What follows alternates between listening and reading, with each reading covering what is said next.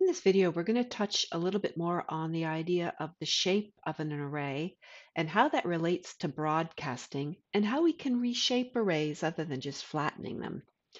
Okay, so we're going to go back to our original array here. It's being made set of random numbers between 1 and 100, and the size is 5 rows and 10 columns. Okay, we see the resulting array here.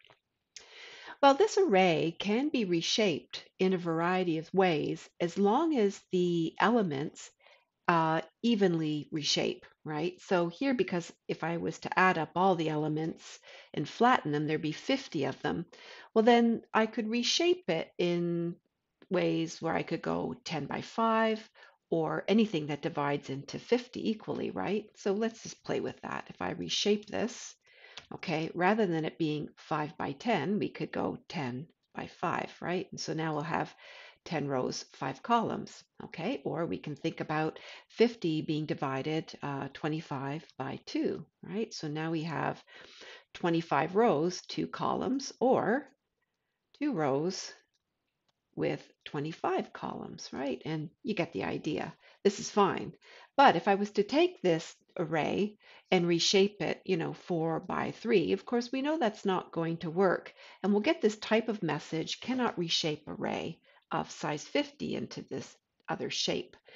And, you know, understanding this is critically important to working with NumPy because matching shapes count not just for resizing, but for what also is called broadcasting. Okay, now I'm going to uh, start over here. So let me just, we'll do um, an empty cell here. So I'm going to make a second array. I'm going to call this my adder. I'm going to use an array to do some addition. Okay, now we've seen addition before. If I think of vectorization, right, here's my array, and then I say uh, my array,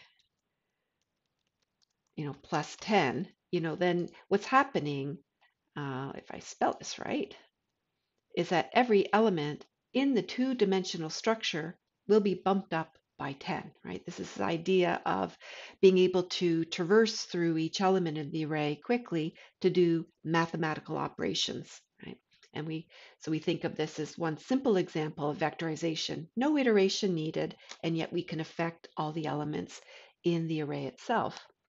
Okay, well, we can also do addition not just with scalar values, but also with other uh, array structures. Okay, so I'm going to make this my adder uh, array, okay, and we'll call NumPy's random int method again. Okay, and okay, this one we're going to have a low, we'll just do a low adder here. So I'm going to go start at one, the high will be equal to three, and okay, let's set the size equal to 5 by 1. All right, and I'll go from there. All right, and here we take my adder. We can take a look at its structure, right? So here we have 5 by 1, 5 rows, 1 column. Okay, this is a two-dimensional structure um, with one column, 5 rows. See, this is a shape that can work um, doing mathematical operations on the other array, right? The concept of broadcasting is at play when we do this. Okay, now I'll show you just the result. I can take, uh, if I just go my R plus the my adder, and we run this, we do get a new array out of the existing one, but notice, you know, uh, the first element here is bumped up by one, we look at the third one down, 76, we see that's bumped up by two. Okay, but notice the trend happens right across the way for the entire array, not just one column. The idea of broadcasting is this, as long as the shape of an array that's performing the mathematical operation can be stretched in either direction, it will do so, right? So if we look at this uh, five row, one column structure, it's being stretched across so that, you know, if we think about this, then this, then this, it's basically repeating this across uh, 10 times, right? So that we get this similar pattern happening across the entire array. If I was to reshape this and make this a 1 by 5, well, now we, we're going to have trouble here because notice that my shape now is one row, five columns.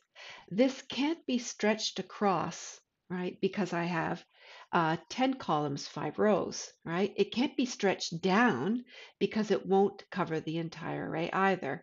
And so then when I try to do my mathematical operation, we say that they cannot be broadcast together.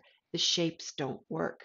Okay, so this is what I mean by it's critical to understand shaping, not just to reshape an array so that it works out, but also when we do mathematical operations.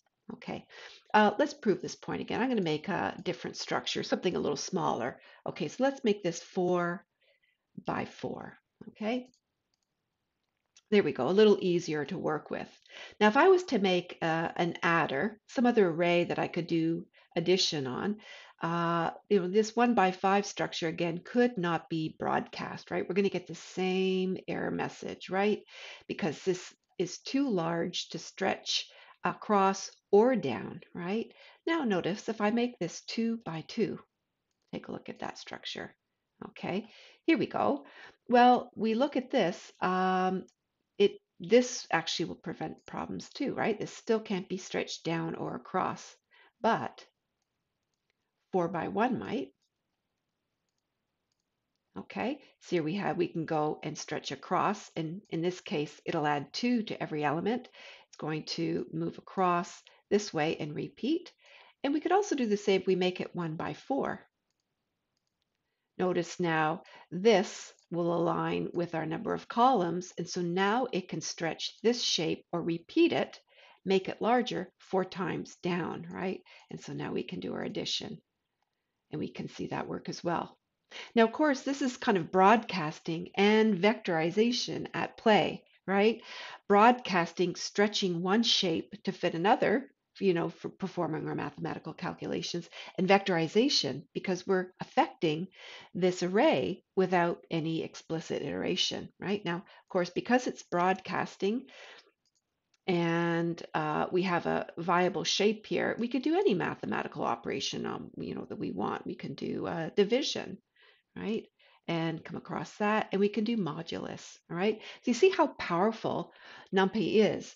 All these things, all these map operations that we're doing so far on our array structures, no iteration at all, no list comprehension, purely done with vectorization and broadcasting.